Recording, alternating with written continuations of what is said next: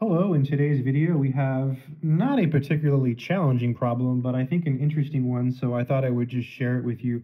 So it's the limit as x approaches infinity of sine x over x. I'm just going to go through it really quickly, just knocking out some math problems here.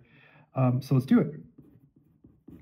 So clearly, and I'm, I'm saying this in, in a non, trying to say this in a gentle way, but clearly this is going to go to zero. And, and the reason is sine is bounded, right? Think about the sine function, right? It's, it's a wave.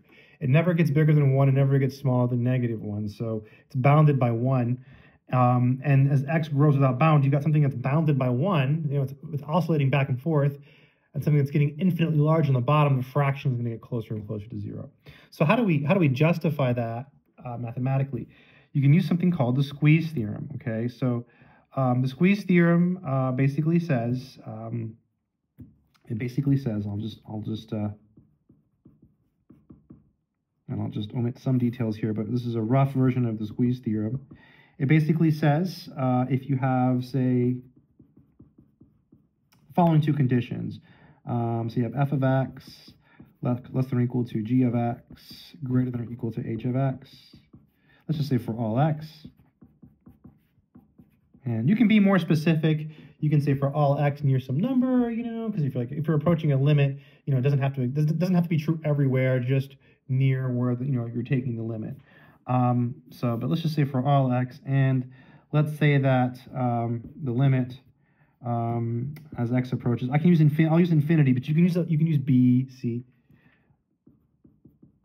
equal to l, and also the limit of g of x as x approaches infinity is equal to L. So we have that the limit of h of x as x approaches infinity is equal to L, and the limit of g of x as x approaches infinity is equal to L.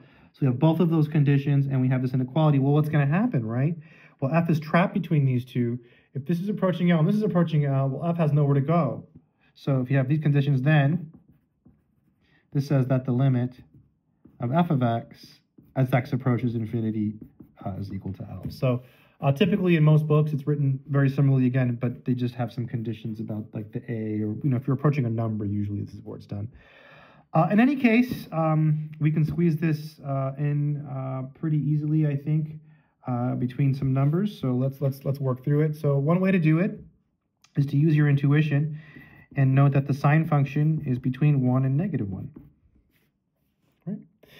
And then you say, well, wait a minute, I have sine x over x. Well, as long as x is not zero, I can divide by x. Well, what if it's negative?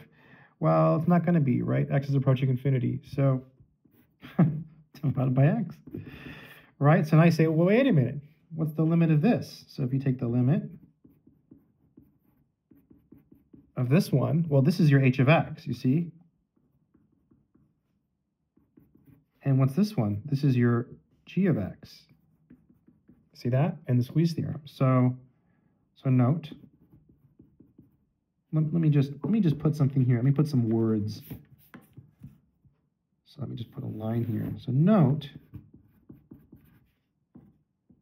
and then a comma, and then we also have the other condition.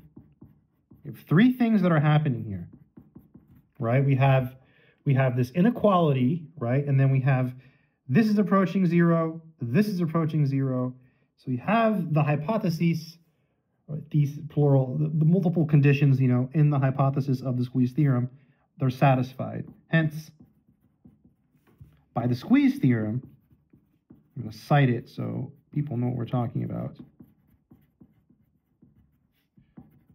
We have we have that the limit and you know i think citing things and you know just letting people know what you're doing is important um, for various reasons, right? Um, um, squeeze theorem, this is equal to zero as well. Um, various reasons, right? It's helpful, that probably being the best, I think, you know, be, be nice to people. Math is hard. Um, so yeah, so it helps to let people know what you're doing and stuff. So yeah, so that's kind of an, it is an easy problem, but hopefully um, it's a good example that illustrates how to apply uh, the squeeze theorem. So hopefully you've, you've learned some mathematics in this super short video. Check out my courses. Links are in the description or from my website, freemathvids.com. They're on Udemy, but use my links because I've lowered the prices and it helps me. Subscribe, like, share. Keep doing mathematics.